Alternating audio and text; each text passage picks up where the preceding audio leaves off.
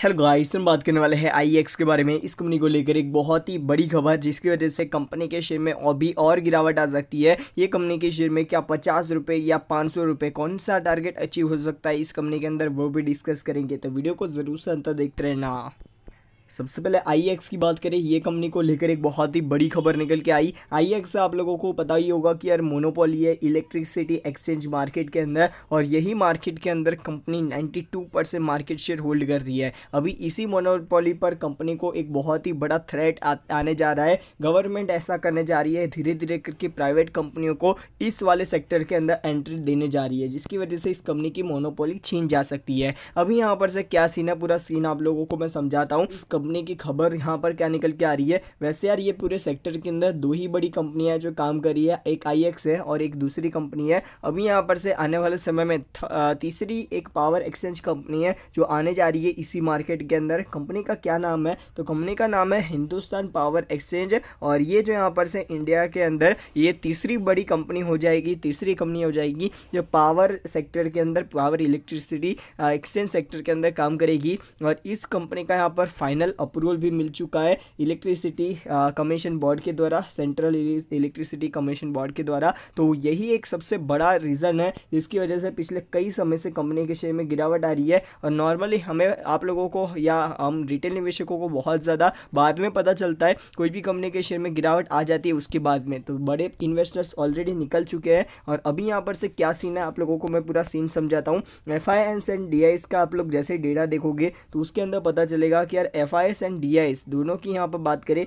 एक समय पर पैंतीस तीस परसेंट के आसपास, छत्तीस परसेंट के आसपास की होल्डिंग थी और उनकी होल्डिंग लगातार कम हुई है, ठीक है? लगातार कम हुई है और यहाँ पर पिछले कुछ टाइम में तो और इन्होंने यहाँ पर क्या किया? नीचे के लेवल्स के ऊपर खरीदा, ऊपर के लेवल्स के ऊपर बेच कर निकल रहा और पब्लिक को यहाँ पर से लगातार माल चिपकाया जा रहा है। तो ये एक यहाँ पर चीज़ आप लोगों को ध्यान में रखनी है। एक और चीज़ इस कंपनी के शेयर में गिरावट आने के पीछे का, देखो, पहला तो यहाँ पर रहा मोनोपोली इस कंपनी की छीन ले, छीन जा रही है धीरे धीरे धीरे करके। दूसरा भाई रीज़न है, आप लोगों को दूसरा रीज़न भी बताता हूँ आई का शेयर का प्राइस अभी यहाँ पर से आप लोगों को पचास के अराउंड देखने को मिल जाता है। अभी की यहाँ पर लेटेस्ट जो प्राइस है फिफ्टी वन हंड्रेड के आसपास देखने को मिल जाता है, ठीक है? एक सौ पचास के आसपास का।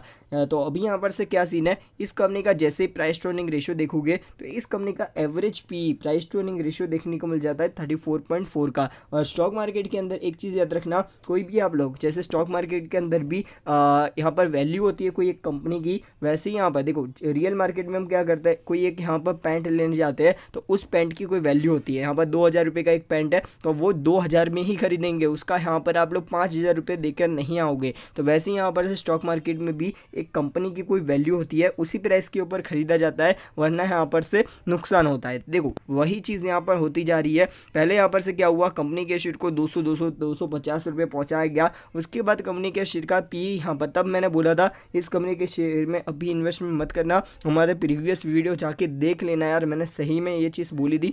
तो अभी यहाँ पर से बहुत लोग मेरे को कमेंट कर रहे थे कि यार, ये कंपनी के शेयर में यहाँ पर से अभी तो और तेज़ी आएगी तो ऐसा नहीं होता यार, एक चीज़ याद रखना। इसी के साथ साथ देखो, तब इस कंपनी का पी हंड्रेड के आसपास था आसपास का था, और धीरे धीरे करके जो इस कंपनी का एवरेज पी है ना वो यहाँ पर से आ, उसी के आसपास अभी कंपनी का शेयर आता हुआ नज़र आ रहा है और आने वाले समय में मेरे को ऐसा लगता है थर्टी से लेकर थर्टी फाइव का पी जब तक अचीव नहीं हो जाता है तब तक ये कंपनी के शेयर में गिरावट आएगी और गिरावट कितनी प्राइस तक आ सकती है? तो यार वन हंड्रेड रुपीज़ से लेकर वन हंड्रेड टेन रुपीज़ तक की प्राइस ये कंपनी का शेयर दिखा सकता है आने वाले टाइम में। तो इस चीज़ का उपयोग आप लोगों को ज़रूर से ध्यान में रखनी है। बाकी यार पर्सनली यार मेरे का मेरे मेरे को तो यार इस कंपनी को लेकर पहले यहाँ पर से अच्छा खासा लग रहा था कि यार कंपनी अच्छा परफॉर्मेंस करेगी, कंपनी ने अच्छा परफॉर्मेंस भी किया, पर मैंने पर्सनली इस कंपनी के शेयर को कभी भी नहीं खरीदा था। कभी भी नहीं। आज तक एक बार भी मैंने इस कंपनी के शेयर को खरीदा नहीं है। रेकमेंड ज़रूर से किया है इस कंपनी के शेयर को, यहाँ पर से शॉर्ट टर्म के लिए, जब यहाँ पर से एक अच्छा बुल रन चालू हो मतलब इस कंपनी के अंदर बुल रन चालू होने वाला था,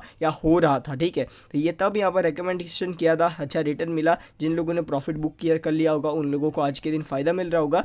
मैंने यहाँ पर जिस लेवल से रिकमेंडेशन किया ना, उस लेवल से तो आज भी वो प्रॉफिटेबली होंगे, ठीक है? तो ये एक बहुत ही ज़्यादा अच्छी खबर है। बाकी आज जो वीडियो पसंद आए तो लाइक चैनल को सब्सक्राइब करना मत भूलना। अभी यहाँ पर सवाल आ जाता है, जो लोग इस कंपनी के अंदर लॉस में हैं, उन लोगों को क्या करना चाहिए? तो मेरा तो भाई यही रिकमेंडेशन है कंपनी यहाँ पर से कोई बड़ा अनाउंसमेंट कर सकती है। देखो, ऐसे ही यहाँ पर 92 परसेंट मार्केट शेयर है इस कंपनी का, ऐसी रातों रात तो नहीं छीन जाएगा। तो मेरे को ऐसा लगता है, आने वाले समय में थोड़ा टाइम लगेगा, उससे पहले कंपनी का शेयर एक दो बार बाउंस बैक लगा सकता है। तो आप लोग तब निकल सकते हो, बाकी इन्वेस्टेड हो तो होल्ड ही रखना लॉन्ग टर्म के लिए अच्छी कंपनी है। बाकी वीडियो पसंद आए तो लाइक चैनल को सब्सक्राइब करना मत भूलना। गुड बाय गुड बाय फिर मिलते हैं नेक्स्ट वीडियो में। Good bye